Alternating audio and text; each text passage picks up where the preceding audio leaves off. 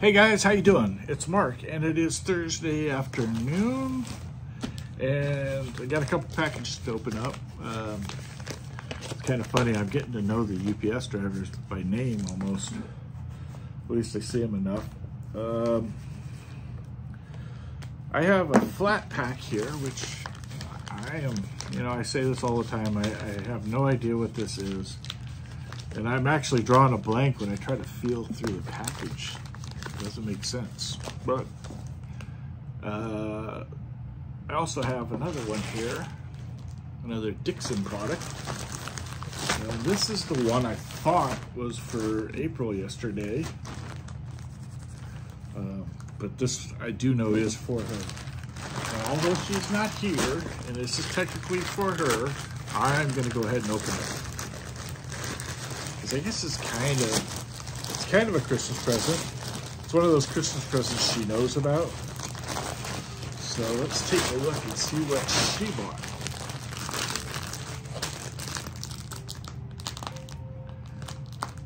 So I don't even know how you pronounce that. Hyman? Hyman? Don't even know. Not even gonna try. Dixxon flannel. And uh, I can tell you this is kind of like one of those Sherpa style jackets. Of this. That's a thick woolly jacket if I ever saw one. Anyway, uh, yeah. Merry Christmas, April. Or maybe that's early birthday. Uh, for all those who are concerned or want to know, April's birthday is the day after Christmas. So hit me up in comments, wish her a happy birthday. Uh, yeah. We will be out of town for a little while, but I will probably be doing a video from the location we're at. Let's see what this is. I'm really curious about this. I just spent about an hour and a half trying to get my truck started, uh, my uh, my white truck. I'm actually going to be selling it. And that's a very sad thing for me. I love that truck, but it's time to let her go. What? Oh, okay. So this is part of the order I had the other day when I was telling you about um, trying to put together a, a, system to pump my tires with my uh, scuba tank. And so these are some of the fittings that I hadn't received yet. And basically it's a British thread to quarter 20 American thread. And then it looks like I ordered a secondary uh, Foster fitting. But there's a little pin in here and I'm not even sure what that is. Is that a filter? I don't know what that is.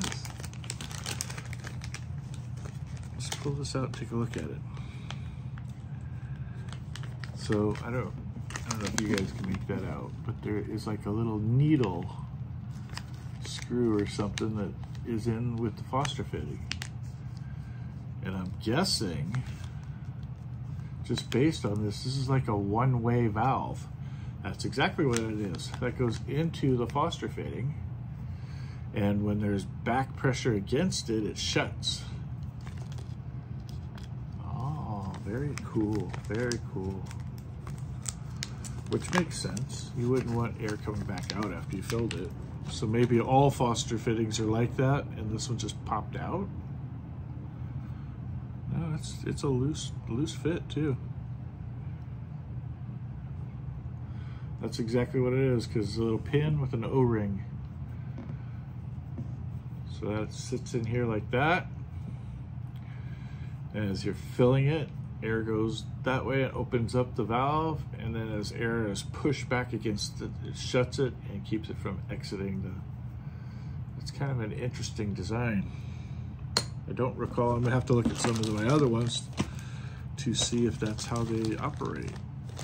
And what stops it from getting blown into the hose? I don't know. Interesting. Anyway, I'm just rambling. Um, again, Thursday afternoon, Hopefully everybody's doing well. Uh, we shall check in with you guys later. I got a feeling I got more stuff coming. But you know the routine. As always, have a great day, unless, of course, you've made other plans. Till the next time, peace out.